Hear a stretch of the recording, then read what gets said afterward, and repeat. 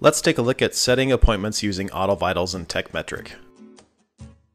When customers receive email or text campaigns or service reminders through AutoVitals, they have the option to request an appointment.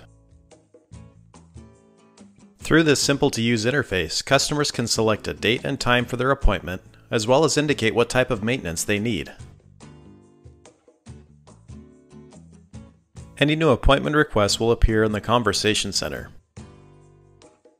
From there, you'll be able to see the details of each appointment request. As a best practice, we recommend having your Tekmetric appointments close by or pulled up on a second monitor to view them side by side. While reviewing the information in the request, if the time in the request does not work with your shop schedule in Tekmetric, you can easily reply directly to the customer from the Conversation Center via email, text message, or both to find a new date and time that works. If the requested time does work, you'll go ahead and move over to Tekmetric and set up the appointment there. In Tekmetric, navigate to Appointments and then select New Appointment in the top right corner. You'll then select the date and time for the appointment and add the customer's information. Then on the following screen, you'll add any details relevant to the appointment.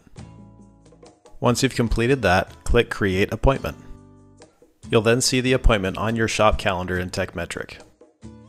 Meanwhile, the appointment will appear in TVPX under the Today's Appointments column. The customer will also receive an email or text confirmation of their appointment, depending on their communication preferences.